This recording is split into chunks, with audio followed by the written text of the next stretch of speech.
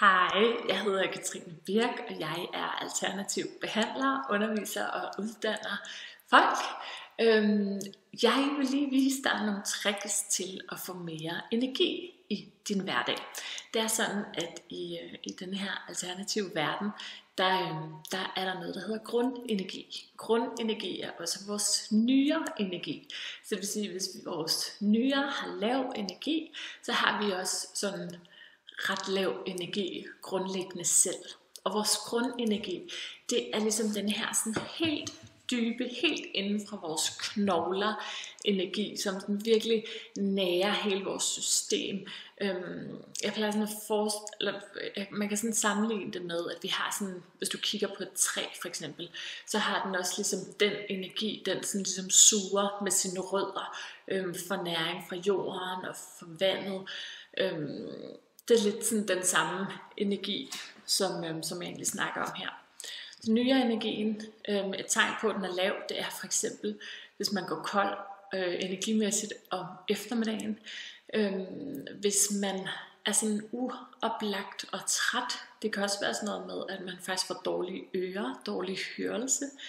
Øhm, og det kan være noget med, at man, hvis man har noget med dårlige knogler eller et eller andet. Øhm, det kan også være, at man har et tema omkring angst og chok og det at være bange. Øhm, og om ikke andet, ikke fordi man behøver at sådan virkelig have dårlig grundenergi for at gøre det her, øhm, så er det altid rigtig, rigtig godt at booste den her grundenergi, fordi at det er bare øhm, sundt og dejligt og rart og nærende for os. Så der er to akupressurpunkter, som jeg er helt vild med, som jeg gerne vil vise dig. Og så vil jeg også vise dig nogle tricks, nogle andre tricks bagefter. Så det første punkt, det sidder lige her under kravbenene ved siden af brystbenet. Og her kan du lave nogle cirkler den ene og den anden vej, og du kan stå her og massere. Det er sådan lidt et punkt, det kan godt være rigtig, rigtig ømt. Øhm, så her kan du sådan massere lidt efter behov. Du kan også gøre det i løbet af dagen. Du kan også banke der lidt på punktet sådan her, for virkelig sådan lige at sige, hallo grundenergi og good morning. Øhm, så det er, det er sådan ligesom et punkt, som du meget, meget vel kan, kan stimulere lidt i løbet af dagen efter behov. Så et andet punkt, som jeg også er ret stor fan af, det sidder hernede på, øh, på foden, eller ved siden af foden, eller anklen, eller hvad man nu kalder det. Jeg drejer den her lidt hurtigt.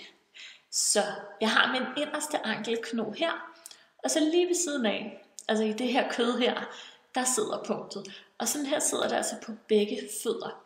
Så her masserer jeg også ind, sådan efter behov.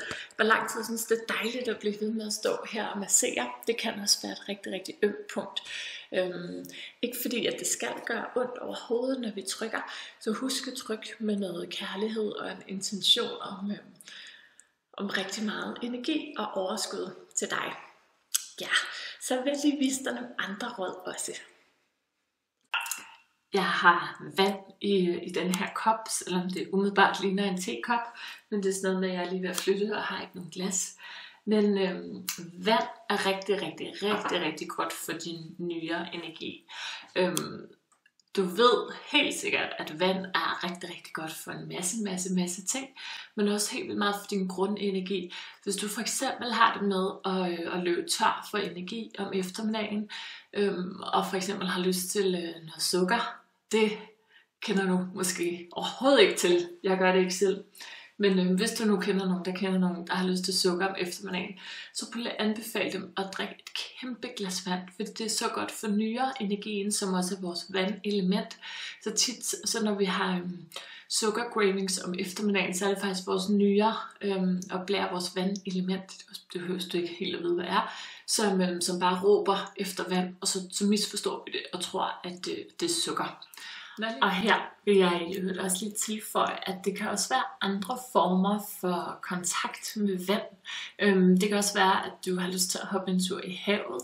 Øhm, det kan også være, at du har lyst til at gå i badekar, øhm, have en blomstervase fyldt med vand, eller et eller andet andet, som, som gør, at du mere eller mindre bevidst tapper ind i den her energi af vand. Det vil virkelig være med til at give dig meget mere energi. Og så er der lige en til ting, som, øh, som jeg vil vise dig, som med garanti også vil booste dit energiniveau. Så er jeg nemlig lige trykket ud i min nye have. Totalt flytte video det her. Øhm, det, som også er rigtig, rigtig godt for vores nye energi, eller det, som er interessant ved hele den her nye energi også, det er, at øhm, vores nye energibane starter under foden. Altså, under foden. Øhm, og det er faktisk den eneste medianbane, der starter derunder. Og det vil sige, at den suger os øhm, næring fra naturen til sig. Så vi kan faktisk gå glip af rigtig, rigtig, rigtig meget ny energi, altså grundenergi, ved at vi altid har sko på, øh, når vi er udenfor.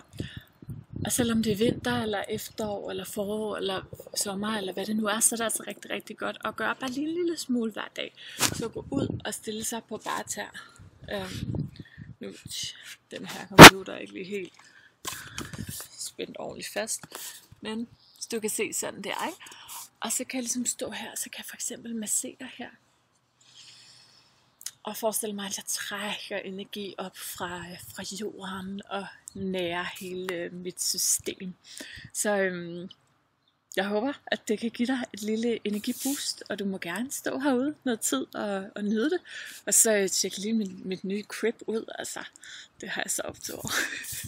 Nå, men øh, ha' det godt. Vi ses.